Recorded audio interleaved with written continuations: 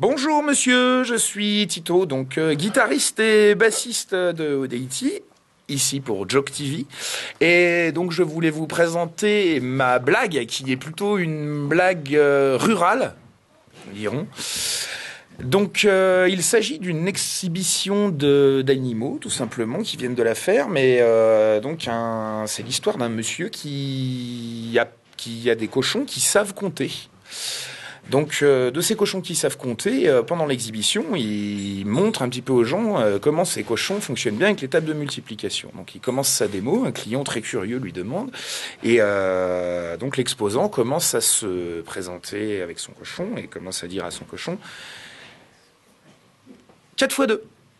Un co- et il, co- il commence à lui donner une tape avec le pied, comme un ballon de football, et le cochon se met à faire Après ça, le client dit Oui, d'accord, mais c'est facile, vous lui avez donné une tape sur les fesses, euh, euh, avec un autre calcul. Ok, ok, ok, ok. Euh, à ce moment-là, le gars regarde le cochon et lui dit 3 fois 3.